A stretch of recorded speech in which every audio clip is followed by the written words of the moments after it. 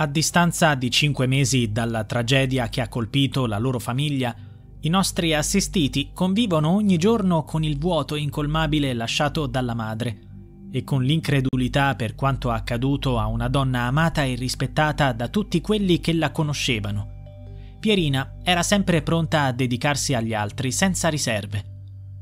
Hanno deciso di condividere il loro dolore Giacomo, Chiara e Giuliano Saponi, i figli di Pierina Paganelli, la pensionata trovata senza vita nei garage del suo condominio di Rimini il 3 ottobre scorso.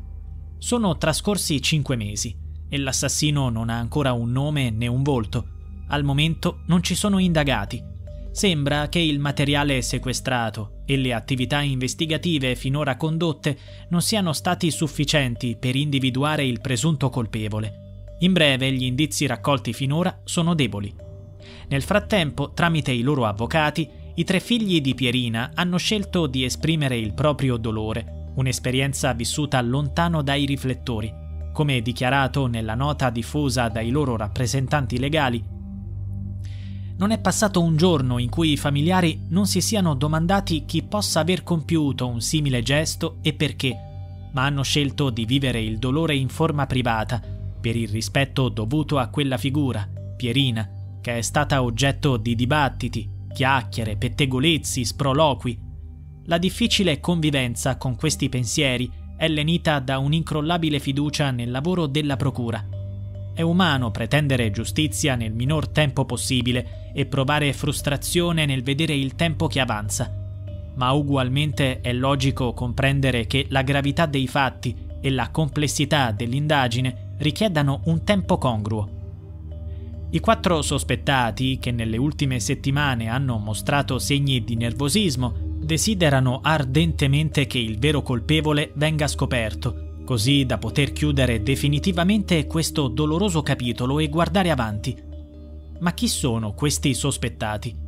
Ormai li conosciamo bene. Innanzitutto c'è la nuora di Pierina, Manuela Bianchi, moglie di Giuliano Saponi.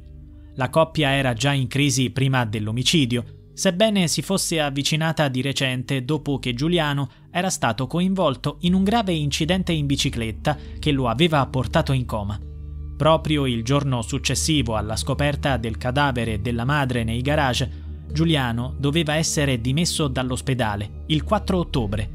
È stata Manuela stessa a fare la macabra scoperta. Giuliano è rimasto sconvolto e pochi giorni dopo ha ricevuto un'altra brutta notizia la scoperta che sua moglie aveva una relazione con il vicino di casa, Luis da Silva, che è finito anch'egli nella lista dei sospettati. Altri sospettati includono Loris Bianchi, fratello Manuela, che vive a Riccione ma quella sera era a cena dalla sorella. Il suo appartamento confina con quelli di Pierina e di Luis. Loris e Manuela si sono forniti un alibi a vicenda, dichiarando di essere stati a casa per tutta la sera con la presenza della figlia minorenne di Manuela, che ha confermato le loro versioni. Valeria Bartolucci, moglie di Luis, e anche sotto i riflettori, ha dichiarato di aver trascorso la serata del 3 ottobre a guardare la televisione con suo marito, prima di andare in camera da letto poco prima delle 22, lasciando Luis da solo. L'omicidio è avvenuto pochi minuti dopo le 22.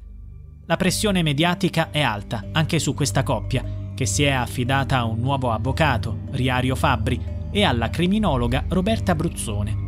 Nonostante i sospetti, il tradimento e gli intrecci, Luis e Valeria stanno lottando uniti per dimostrare la loro innocenza. Nel frattempo le indagini proseguono. Non è escluso che a breve gli inquirenti possano iscrivere almeno uno dei quattro sospettati nel registro degli indagati. Ma quale sarà il colpo di scena successivo? La risposta potrebbe essere dietro l'angolo.